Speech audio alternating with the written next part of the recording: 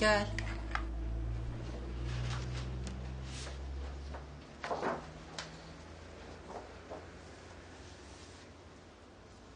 Evet. Bu daha iyi olmuş. Teşekkür ederim. Çıkabilirsin. İyi akşamlar. Sana da ilk aşk olduğunu mu söyledi?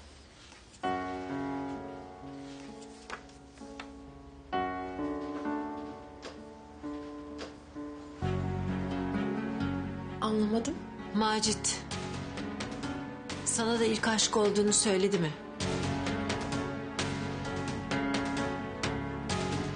Macit sana da ilk aşk olduğunu söylemiş. İşte. Hep böyle yapıyor. Dikkat et. Çok üzülürsün.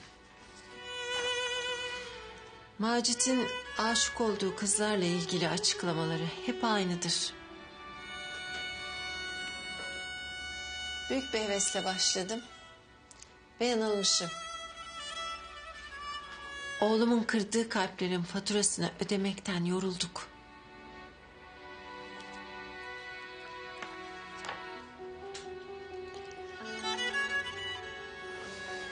Yaşanacaklardan kaçılmaz İnce Hanım. Yaşayıp göreceğiz. Annenle baban gibi mi Neriman? Onlar da senin gibi düşünmüş olmalı. Annenin ait olmadığı bir hayatın içinde darmadağın olmasına çok üzüldüm. Kolay değil tabii. Bir anda öyle bir varlıktan yoksulluğa zor günler geçirmiştir.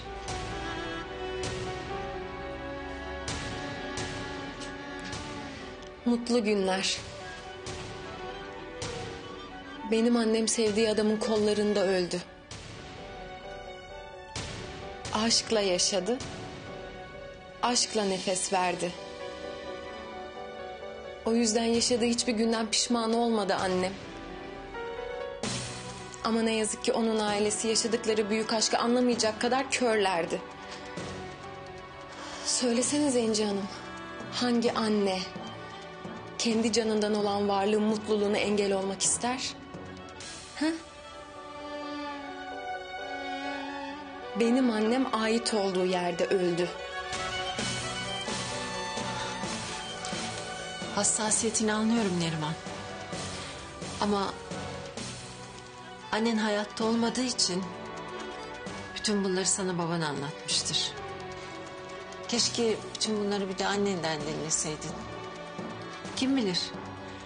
Belki annenin hikayesi sana anlatılanlardan çok başkadır. Senin bu anlattıkların biraz masal gibi duruyor Neriman.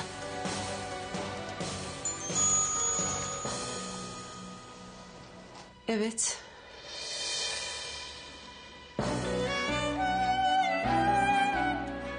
Benim.